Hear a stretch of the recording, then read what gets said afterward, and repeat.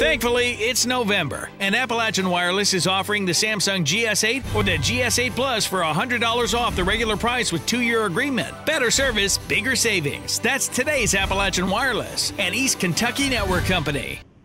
Veterans Day events were held across the region today in an effort to give a little something back to those who have given so much to us. Allen Elementary in Floyd County held such an event as around 20 veterans were treated to lunch in a special program performed by the students. School officials say it's important to teach their children the importance of honoring those who fight for our country.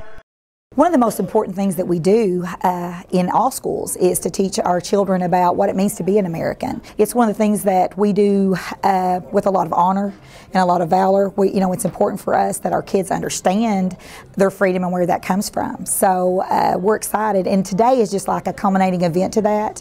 That uh, when they see the pictures and they get to meet the veterans and shake their hands, that they understand that these individuals are the people that have provided that freedom that we enjoy every day. It was not only a special day for veterans, but for their families as well. Five year old Addison Bostick had not seen her dad since his deployment in December of 2016. At today's Veterans Day celebration, she was reunited with her dad after a long 11 months apart. Sergeant Chris Bostick says the support he receives from his family and his little girl means absolutely everything to him.